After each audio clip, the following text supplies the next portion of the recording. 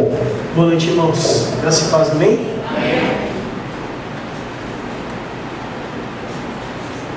Nós cantamos sobre Jesus, nós cantamos sobre Deus. E o que diferencia para nós? Por que, que estamos aqui nessa noite? Por que cantamos sobre esse Cristo? Que cantamos sobre esse Deus? Por que não servimos a Maomé, Buda, quem mais? Papa, santos e mais santos? Por que nós servimos a esse Jesus? Você consegue dar uma resposta rápida aí na tua mente? Paulo, na sua primeira carta à igreja de Coríntios, dá uma dica. Eu queria que você abrisse comigo, 1 Coríntios 15 versículo 13, versículo 14.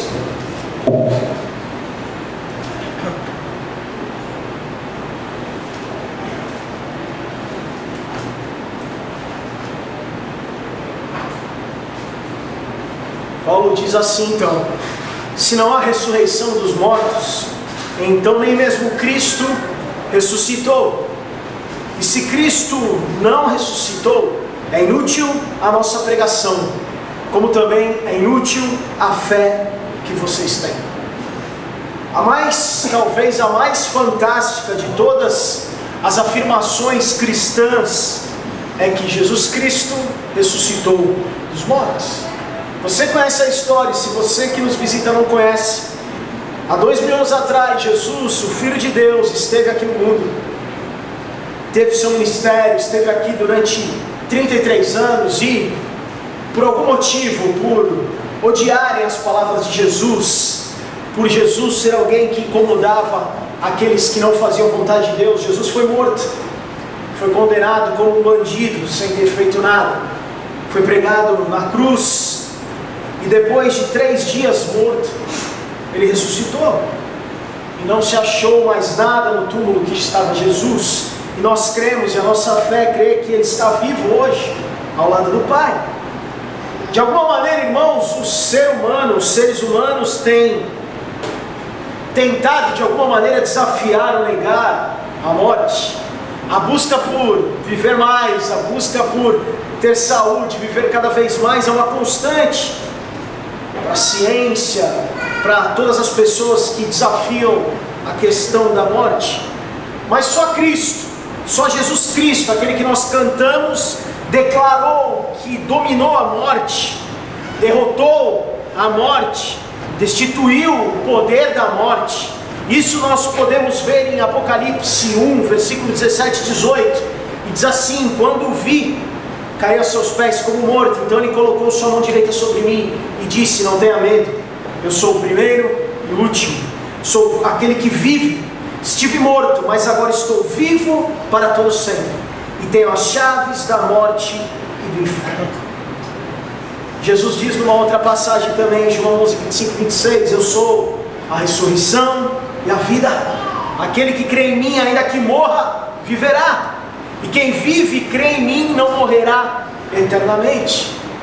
Irmãos, os primeiros seguidores de Jesus daquela igreja chamada primitiva, aquela igreja que nós vemos os relatos no livro de Atos, os apóstolos pareciam ter a certeza, a clareza e a confiança quanto à ressurreição de Cristo. Se nós voltarmos para o texto de 1 Coríntios, Paulo, Paulo falou: se não existir, se ressurreição foi uma mentira, o que cremos é em vão. Se a ressurreição for uma mentira, a história que contam de Jesus não tem valor nenhum.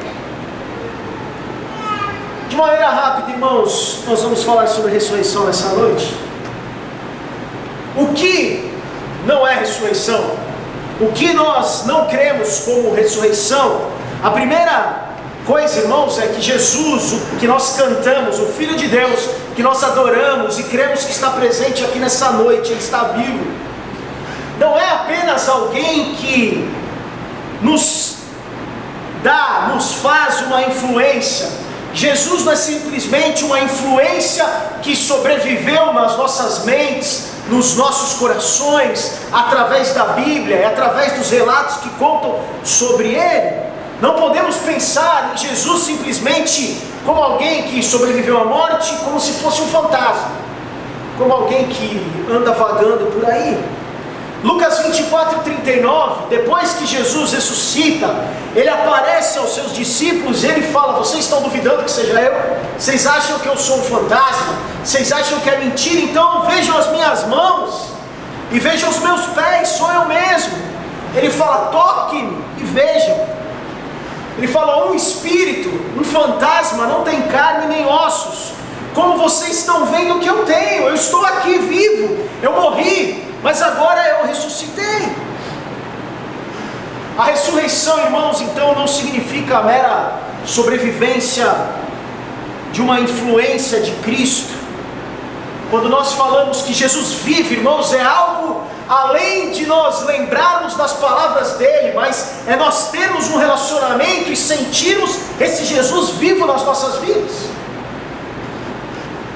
De uma maneira diferente, irmãos, nós poderíamos citar outros revolucionários, pessoas que até hoje você vê em camisas, por exemplo, nós podemos citar o Che Guevara, que alguém que para revolução lá em Cuba foi alguém que foi de grande, alguém importante. Até hoje você vê as pessoas deixando viva a memória desse revolucionário, desse cara que para alguns trouxe muitas mudanças. Jesus não é só a lembrança de palavras, mas Jesus está vivo. E a grande declaração do Novo Testamento não é só que ele vive, mas que ele ressuscitou no terceiro dia. Jesus também não é um cadáver ressuscitado. Nós vemos na, no Novo Testamento outras situações. Nós vemos a filha de Jairo ressuscitada. Nós vemos o filho da viúva de Naim. Nós vemos Lázaro sendo ressuscitado. C.S. Lewis fala o seguinte: como deve ser triste para alguém que morreu ter que morrer de novo. O cara já morreu, tudo bem, foi ressuscitado, ganhou mais algumas, alguns anos de vida, mas deve ser muito dolorido alguém morrer novamente, passar pela morte novamente. A ressurreição de Jesus, irmãos, foi algo, um evento, foi uma situação, e diferente da filha de Jairo, do filho da viúva, de Lázaro, Jesus não morreu novamente, Jesus está vivo. A ressurreição não foi um passe de mágica feito com os ossos de Jesus. Jesus ressurreto, que nós cremos não é um cadáver nem um fantasma. No momento da ressurreição, Jesus tem um corpo glorificado, transfigurado, um corpo transformado. Deus interferiu com o seu poder no processo natural de decomposição e corrupção do corpo de Cristo e resgatou Jesus do reino da morte transformou Cristo, dando-lhe a imortalidade, dando-lhe poderes. Leandro, que você está contente, que você está falando para mim é meio, parece um filme, parece uma história. Essa ressurreição aconteceu mesmo? E nós temos algumas provas sobre isso. A primeira delas, o corpo de Jesus nunca foi achado. Ah, mas tudo bem, podem ter várias conspirações para isso, mas nunca, irmãos, houve uma explicação satisfatória para o desaparecimento do corpo de Cristo lá na sua cova, a não ser a questão da ressurreição.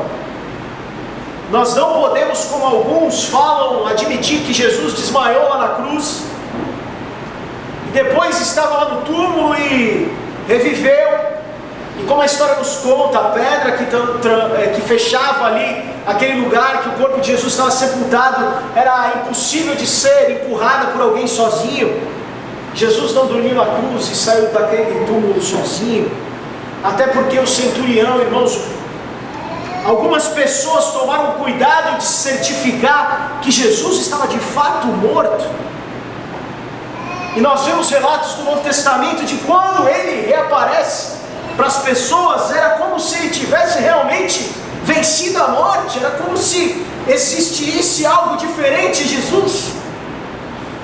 Alguns defendem que as autoridades daquele local, os romanos, removeram o corpo de Cristo, a fim de que a notícia da ressurreição fosse espalhada. E um dos autores que fala sobre a ressurreição diz: será que se esses homens tivessem escondido o corpo de Cristo, as autoridades, quando se começou a falar de ressurreição, será que eles não teriam mostrado o corpo de Cristo? Vocês estão falando de ressurreição, mas vocês estão enganados. O corpo de Cristo está aqui, guardado, em algum lugar. Será que teriam os discípulos de Cristo então, como parte de uma conspiração para enganar o povo, roubar o corpo de Cristo? Eu acredito que não. A segunda coisa, irmãos, é que nós temos no relato da Bíblia o reaparecimento do Senhor. Jesus reaparece, como nós lemos no texto, ele fala para os seus discípulos: Ei, eu não sou fantasma, fantasma não tem osso, não tem carne, olha aí o furo das minhas mãos, a marca dos pregos. Eu estou aqui, eu estou vivo. Em certa ocasião, irmãos, em 1 Coríntios 15, 6, Jesus, Paulo fala que Jesus foi visto por mais de 500 pessoas. Olha o que diz o versículo 6 do capítulo 15 de 1 Coríntios. Depois disso apareceu a mais de 500 irmãos de uma só vez, a maioria dos quais ainda vive, embora alguns já tenham adormecido. Paulo falou, Paulo falou, esse Jesus apareceu para mais de 500 pessoas. Enquanto eu escrevo essa carta para vocês, igreja de Corinto, muitas dessas pessoas que viram Jesus ainda estão vivas, ainda podem comprovar e confirmar isso. Em terceiro lugar, e talvez a evidência mais forte nisso, sobre a ressurreição, é o surgimento da igreja. Quando Jesus morreu, seus discípulos ficaram abatidos, confusos, amedrontados. Mas em menos de dois meses depois disso, irmãos, eles saíram do esconderijo que eles estavam, com alegria, confiança, com coragem, e fizeram uma revolução, irmãos. Um bando de João Ninguém, um bando de cara pescador cria uma comunidade universal que soma hoje quase um terço de toda a população do mundo, qual eu e você fazemos parte. Desaparecimento do corpo, o reaparecimento de Cristo, o surgimento da igreja, consistem juntos, irmãos, em fundamentos para se acreditar na ressurreição. Tá bom, Leandro, estou começando a acreditar em você, mas qual a importância disso na minha vida. Na verdade, irmãos, a ressurreição de Cristo é uma resposta à nossa condição humana. A ressurreição de Cristo fala as nossas necessidades, talvez como nenhum outro evento poderia fazer.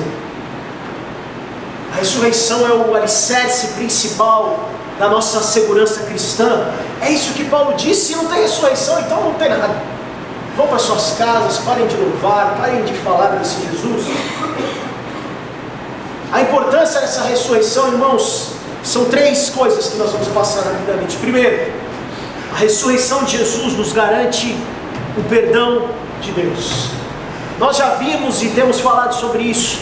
Uma das nossas necessidades mais básicas, irmãos, e uma das melhores dádivas de Deus é o perdão. Enquanto Jesus estava no seu ministério público, enquanto ele caminhou na terra, ele pronunciou várias vezes palavras de perdão, palavras de paz. Uma oportunidade, ele se referiu, falando ao cenáculo, ele se referiu, dizendo ao meu sangue, ao sangue da aliança, que é derramado em favor de muitos para a remissão dos pecados. Dessa maneira, Jesus Cristo estabeleceu, irmãos, uma relação entre o nosso pecado e a sua morte. O sangue, o meu sangue, é derramado, será derramado em favor de muitos para a remissão dos pecados. A morte, irmãos, está ligada ao pecado. Jesus só poderia estar dizendo que iria morrer em nosso lugar a morte que nós merecíamos a fim de que você fôssemos perdoados, a fim de que você fosse poupados de um castigo, poupados da ira de Deus. Sem a ressurreição, irmãos, nós deveríamos concluir que a morte de Cristo então foi O plano de Cristo então foi um fracasso quando ele morreu. O diabo estaria até hoje comemorando, mas não. Paulo continua falando em 1 Coríntios 15: se Cristo não ressuscitou, é inútil a fé que vocês têm. E se Cristo não ressuscitou, vocês ainda estão em seus pecados. Se Cristo não ressuscitou, irmãos, então você não pode se sentir alguém perdoado, alguém alcançado pela graça e misericórdia de Deus. Qual a relevância da ressurreição para nós, irmãos? A primeira coisa que nos garante o perdão de Deus. Cristo morreu, mas ressuscitou dos mortos. E quando Deus ressuscita Jesus, Ele nos garante que essa morte não foi em vão. Que aqueles que confiam em Cristo, confiam no, na ressurreição, podem receber perdão livre, perdão pleno. A ressurreição então dá validade ao sacrifício de Jesus, dá validade à sua morte. A ressurreição coroa o sacrifício de Cristo, a vinda de Cristo, e nos dá a garantia de ser perdoado. Fala para quem está do teu lado aí, você é perdoado. A segunda coisa, irmãos, que a ressurreição de Cristo nos garante o poder de Deus. Tanto necessitamos do poder de Deus no presente, quanto no, no passado. Nós precisamos do poder de Deus no presente, quanto o seu perdão no nosso passado. Nossos pecados ficaram lá na cruz, tudo se fez novo. Deus tem o poder, irmãos, realmente de mudar a natureza humana. Quando nós aceitamos o perdão de Deus, quando nós aceitamos a cruz, irmãos, nós temos a ampla consciência que Deus pode sim transformar pessoas cruéis em pessoas bondosas, pessoas egoístas em pessoas altruístas, pessoas sem nenhum domínio próprio com pessoas que se controlam, pessoas imorais em pessoas morais. Nós podemos ser transformados de pessoas amargas em pessoas doces. Ele é capaz, Deus, o seu poder é capaz de dar vida a quem está morto, a quem está espiritualmente morto. Ele pode nos transformar, irmãos, e nos tornar semelhantes a Cristo. E é essa transformação diária nas nossas vidas, que nós possamos confiar nesse poder e possamos avançar à estatura de varão perfeito. Para que possamos compreender essa medida do poder de Deus, irmãos. Deus nos dá não apenas uma iluminação interior através do seu espírito, mas Ele nos dá uma demonstração pública e objetiva do poder de Deus através da ressurreição de Cristo. A ressurreição, então, irmãos, é retratada como a prova suprema na história do poder de Deus. Cristo morreu, mas ressuscitou. Muitas vezes nós corremos atrás para baratear o evangelho que nós pregamos, que nós ouvimos, minimizar o que Deus é capaz de fazer por nós e fazer em nós, irmãos. Como se tornar cristão, como se participar dessa comunidade, de uma comunidade, da sua comunidade fosse simplesmente, ah, agora eu sou crente. Vira minha folha aí e agora eu sou crente. Faça alguns ajustes superficiais na minha vida. Já não olho para aquela mulher que passa com olhos tão. Já não faço tanta fofoca vou na igreja todo domingo, dou dízimo. Irmãos, coisas que nos tornam um pouquinho mais religiosos, mas é só alguém pisar no teu pé, ah, que o monstro aparece, irmãos. Ser cristão, confiar no poder, crer no poder da ressurreição, crer na ressurreição de Cristo, irmãos, é algo muito mais do que isso muito mais do que uma simples mudança de caráter, irmãos, é algo mais radical, é um ato decisivo de Deus, é nada menos de confiar de que o Cristo que nós cantamos, o Cristo que nós servimos, diferente de qualquer outro profeta, diferente de qualquer outra pessoa na história, que você possa confiar, qualquer santo, de qualquer religião, Cristo que nós servimos, irmãos, morreu, mas ressuscitou. E é o poder de Deus, irmãos, o poder do Deus que ressuscitou o seu Filho, que pode nos tirar do pecado, nos livrar do mal, pode fazer com que nós possamos morrer para toda alienação, possamos morrer para o nosso eu, para o egocentrismo, para tudo, e possamos viver uma vida nova, uma vida diferente, uma vida confiando em Deus. O mesmo poder sobrenatural que ressuscitou Cristo é o poder que pode ressuscitar a nossa vida, irmãos, a nossa vida espiritual, e possamos ser diferentes, possamos deixar o passado para trás e possamos confiar única e exclusivamente em Cristo, confiar em Deus, confiar nas Suas palavras. Em terceiro lugar, irmãos, a ressurreição de Jesus nos garante uma vitória definitiva em Deus.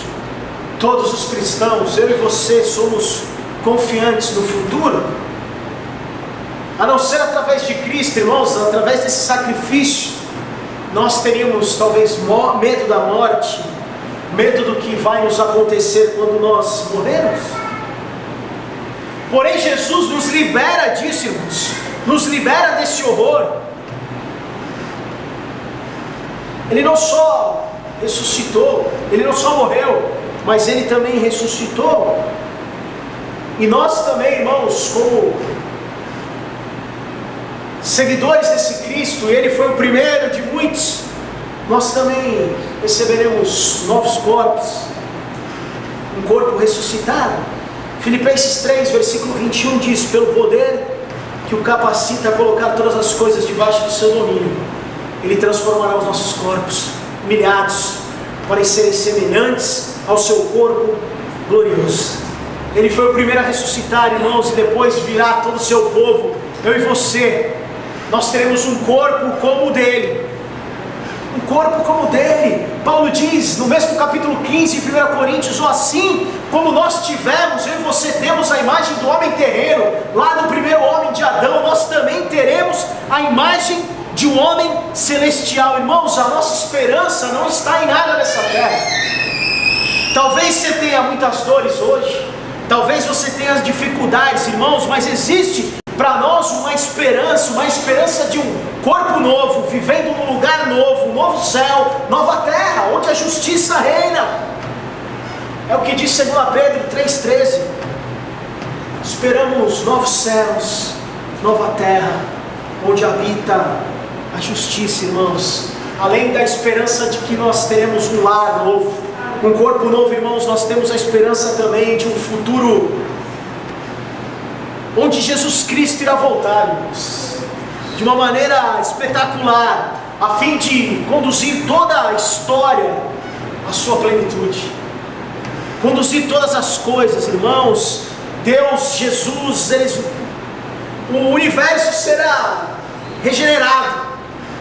Nós temos essa convicção de toda a criação livre, liberta da presente sujeição, da corrupção e da morte um mundo novo, irmãos.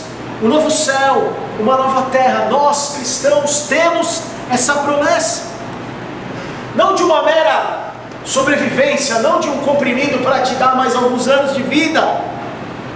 Mas nós temos, irmãos, a garantia de um corpo ressuscitado, de um novo lar, onde nós poderemos cantar Santo, Santo, Santo, onde nós vamos louvar sem parar, irmãos, sem dores, sem a preocupação da conta que vence amanhã, sem nada disso.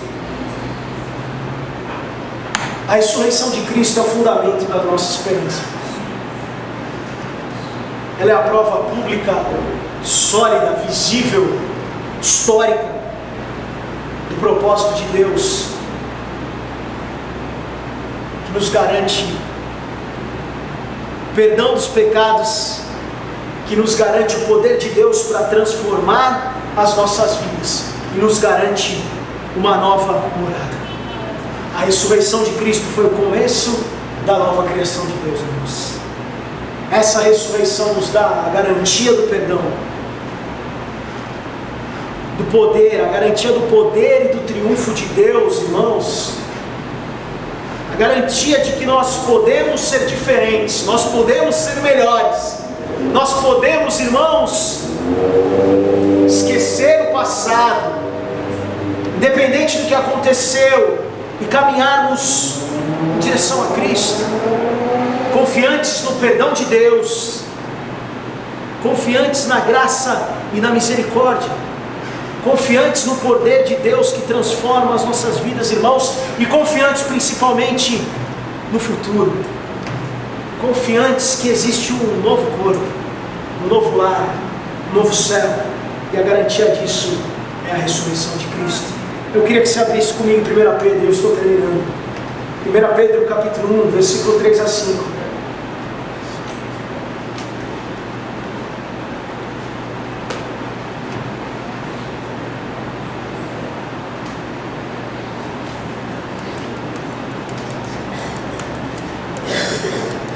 Primeira Pedro capítulo 1,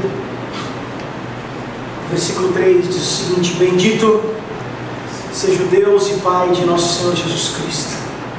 Conforme a sua grande misericórdia, Ele nos regenerou para uma esperança viva, por meio da ressurreição de Jesus Cristo dentre os mortos, para uma herança que jamais poderá perecer, macular-se ou perder o seu valor.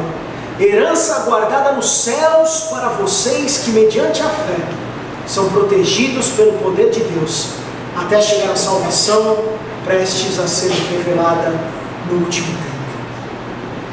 Herança que jamais se pode perder, herança que não perde o valor, herança guardada nos céus para nós, que mediante fé estamos protegidos pelo poder de Deus até que a salvação chegue e será revelada no último tempo.